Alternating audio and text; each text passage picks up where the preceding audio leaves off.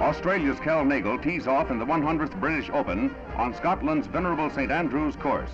Argentinian Robert De Vicenzo follows. Then America's Arnold Palmer, winner of the Masters and U.S. Open. De Vicenzo sets a blazing pace with 67-67 in the first two rounds.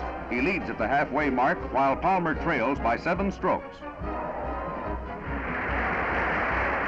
At the end of the third round, torrential rains flood the course and the final round is postponed.